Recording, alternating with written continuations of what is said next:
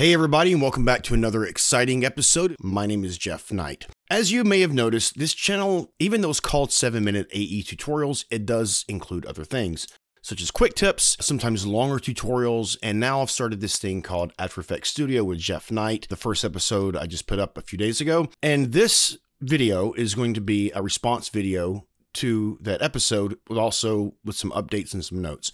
So I do have a seven minute tutorial in the works, but in the meantime, I just wanted to drop a quick video. And the reason why is because I had a lot of response uh, to the After Effects Studio with Jeff Knight video. I truly appreciate you guys taking the time to comment. Seems like people like the content, they like the format. So I will continue doing these. I want to address your questions and your comments because I always encourage you to, to leave comments or to ask questions, but then I never really I never really address it publicly. A lot of times I will take your comments into consideration, and sometimes that will guide the content of some of my tutorials. Today, I wanted to address a couple of comments because I think they were really good. They were really on point, if someone has a question or a comment, chances are more than one person has that question or comment. I'm going to pull up a few comments and, you know, let's go through these and hopefully this will help you out and help you to better understand the content that we were going over in the previous episode, which is using text animators to avoid using alpha mattes. Okay, so the first comment I wanted to address is from, uh, I believe it's Andre Aruski, and he says, I think you can use the opacity control of the text animation uh, tool, I believe is what he's saying. So you don't need to add the mask. Adding the mask only works if you don't have to change the text. What if you need to change the size of the font or the text itself? The mask will not automatically update. Okay, so this is something that I did address in the other video. I understand not everybody watches the entire video, or maybe this is something uh, that just got missed. So I do want to address this real quick. Okay, so one of the things Andre is mentioning is that you can use the opacity control of the text animation tool. He means text animator. So if you're not familiar with what he's saying, let me show you real quick. Okay, so this is the project file that we had pulled up from the previous episode. But basically, we have this animator where we animate in our text. The whole purpose of this was to show you how to avoid using alpha mattes by using a text animator and a mask. So what he's talking about, let's take off First, I'll take off the mask because I want to address his concern about using the opacity text animator. What we have right now without the mask is our text animates in. However, we see it the whole time, so it doesn't reveal. And that was kind of the point of the first video. What Andre is talking about is you can add in more properties.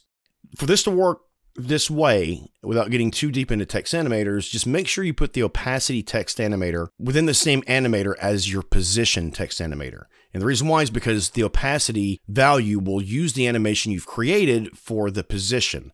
Go to this add button and just add in an opacity text animator.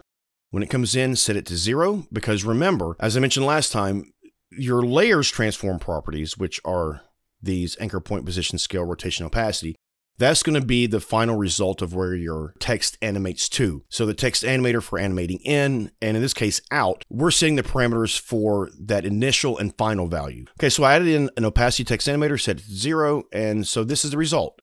So he's right, you can add in an opacity text animator and get basically the same effect. What I was talking about was revealing text, so where there's no difference in opacity. So Andre, you don't need to use a mask.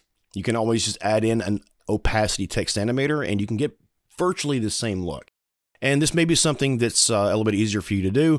So instead of adding the mask and all that kind of stuff, just add in an opacity text animator within the same animator as your positions. Make sure you do that and set your opacity to zero because that's your initial value. Now, something else that was mentioned is if you add the mask, it only works if you don't have to change your text. What if you need to change the size of the font itself?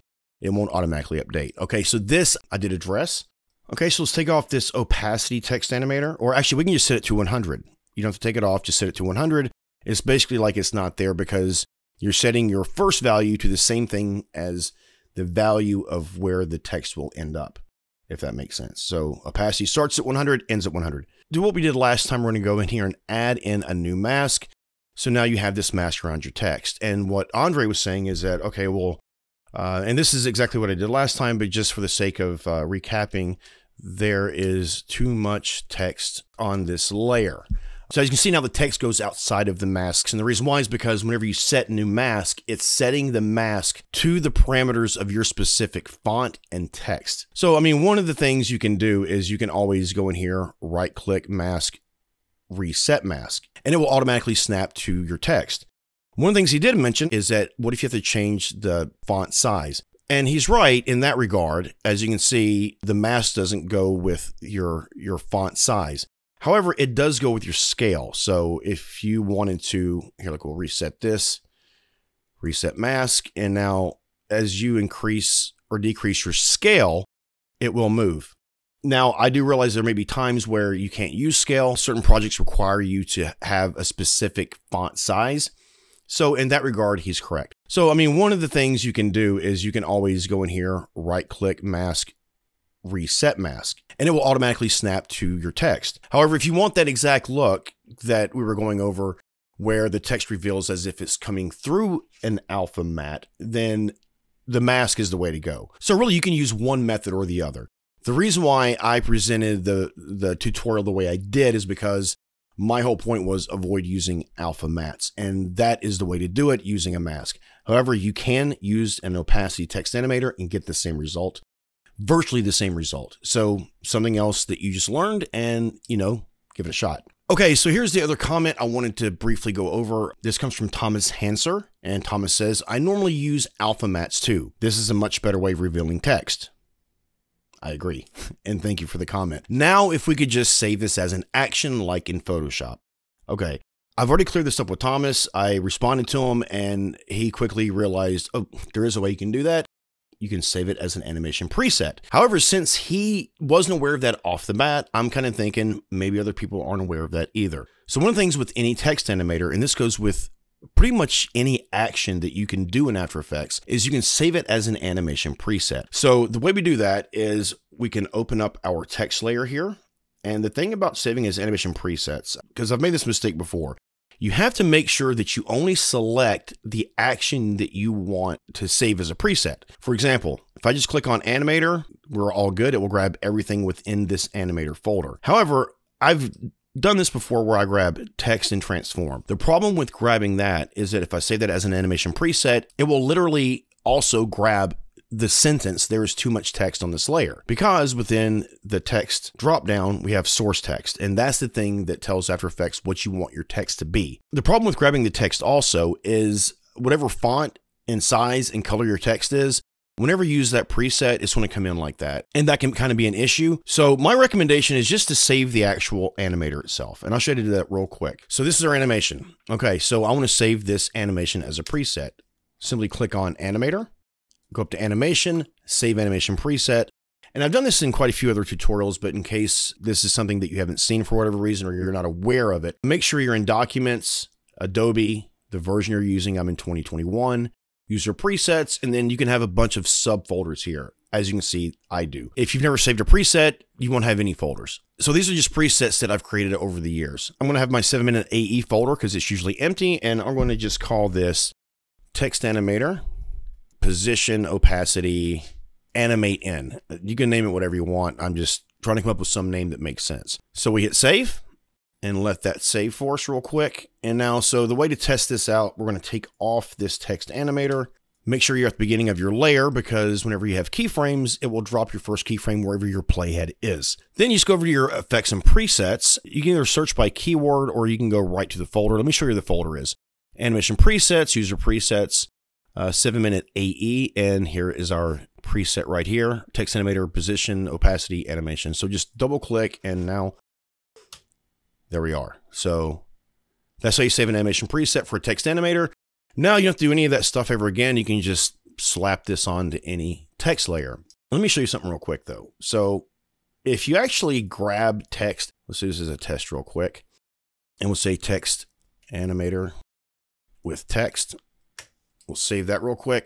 So we can actually just get rid of that text layer, open up our animation preset, user presets, 7 AE folder, and I'm going to actually grab this text animator and watch this. We can just double click it and it brings in everything. So that is also another option. The reason why I said that may not be the way to go is this. Let me get rid of this real quick. And I'm going to type in, this is new text. And then uh, let me see, I'll change my font to Gotham Bold, for example. We want to make it all caps, maybe italics. So th this is just something just to prove a point here. Go to transform, center anchor point layer content, and then align this up. So now watch, if I have already typed my text in and then I use the preset that we saved that came with the text, it just messes everything up. Now watch. It puts in the text that you originally saved. Whenever you save an animation preset, if you include this text dropdown, one of the things it brings over is the source text, which includes the actual text itself, the font, the weight, all that kind of stuff.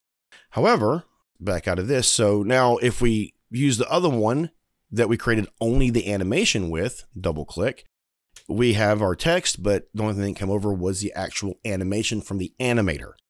So that's how you want to do it. Okay, so this is the first response video. This one's a little bit long. But I thought it was worth doing this so that way I can kind of talk through some more of these problems with you guys. Leave me questions, comments. I'm more than happy to address them. Maybe you have an argument with somebody saying, hey, this is a better way of doing this and you think it's not. Let me know and I can run through both ways of doing the same thing and kind of give you, you know, my personal opinion. Next video should be a seven minute AE tutorial. So I appreciate you guys uh, sticking in with me and watching my content and liking my videos. Please share these videos with anybody that you know. As always, thank you so much for watching and I'll see you next time. I hope this tutorial helped you out and that you learned something new and useful. Make sure to come back next time for another tutorial that will expand your knowledge of After Effects while also teaching you some really cool tips, tricks, and shortcuts. Please comment, like, share, and subscribe, and click the bell so you're notified every time I upload a new video.